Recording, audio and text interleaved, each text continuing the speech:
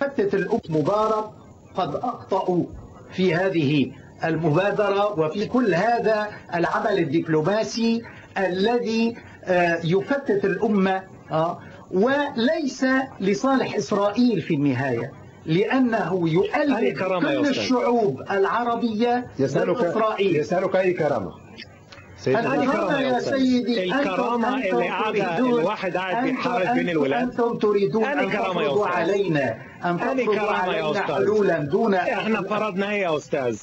قاعد شعب في غزة واكل التين قاعد بياكله وجايين جماعة حماس وقاعدين بيحاربوا من فين؟ قيادة حماس قاعدة بتستخبى فين؟ في مستشفى؟ في مدارس؟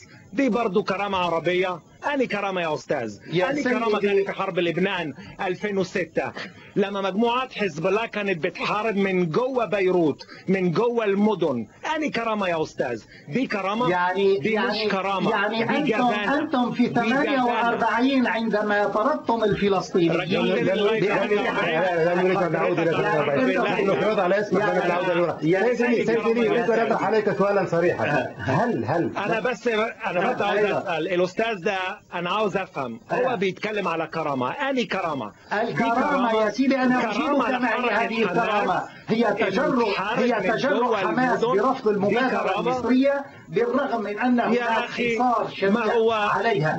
هذا هو عنوان الكرامة بتستخبى. العربية. التحدي الكرامة العربية. رغم التفوق الإسرائيلي. تتحداكم حماس حاجة و- حضرتك إذا وتبطركم ممكن بس تسمع. كلمتين كده عشان يفهموك. تفضل. إيه، آه. إذا ممكن بس كلمتين عاوز أقول لحضرتك. اتفضل زي ما أنت. واخد بالك أنا أنا مولود في مصر. كويس. وعاوز أقول لك إنه عارف هي بالظبط هي إيه؟ الكرامة العربية. الكرامة العربية هي البطولة. الكرامة العربية هي الكلمة الاحترام. الاحترام للأب الاحترام للعيلة والاحترام للحياة. واللي بيحصل مسافة السنين الأخرانية ان الجماعات الإسلامية اللي قاعدة جوه غزة وقاعدة بتستغل الولاد وبتحارب من جوه الجوامع والمستشفيات يا دي مش كرامة انت دي جبانة بترجع لنا للحكاية نفسها الأسطوانة لا، مشهورة لا، هي- والنفس هي- اللي عمله حزب الله في بيروت هو. نفس العمل الحكاية اللي بيعمله من دلوقتي المستشفيات وبيضربوا من المساجد لغايه دلوقتي أنتم اللي ضربتم اللي لازم يتقال. 12 مسجد ولا إيه؟ هم إيه دي الكلام ده؟ الكرامة العربية يا أستاذ. يا سيدي يعني العربية. لا نريد أن نخرج نريد أن نخرج عن في الأخلاقيات موقف دول الممانعة وفي رفض أي أمريكا رغم جبروتها وقوتها. دي كرامة؟ وإن عنوان في العربية الموضوع. والأمة الإسلامية اليوم هي في معسكر؟ دول الممانعة وليس في باين حضرتك حكايه المفهومية مش جامدة معاك آه. عاوز أعرف بس أنا مين اللي وقف التهدئة في غزة؟ مين اللي سيدي. الصواريخ؟ مين اللي راح وضرب المدن في إسرائيل بقاله ثلاث سنين؟ بس أنا عاوز أقول لك حضرتك المشكلة مع حماس اللي هم اللي اتلخبطوا شوية.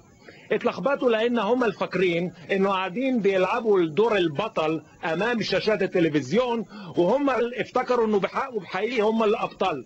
بس ده حاجة مفهومة.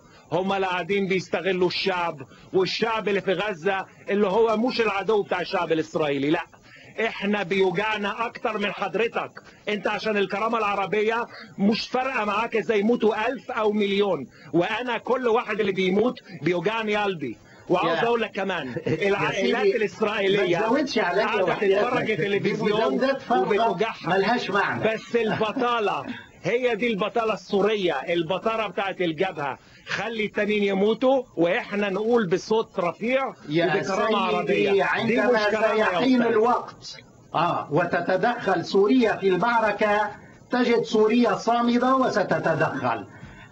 لستم من يفرض لستم من 48. يفرض على الدول العربية المشكلة السورية ساعة الصفر. البطالة إن حرب لبنان قد علمتكم الحرب على أن جيشكم مدحور وسيدحر من جديد وهو اليوم مدحور على يد. أناس بصواريخ حرفية هو رد عليك فيما يتعلق بسوريا رد عليك فيما يتعلق بسوريا ماذا قلت فيما يتعلق بسوريا سيدي لي آه.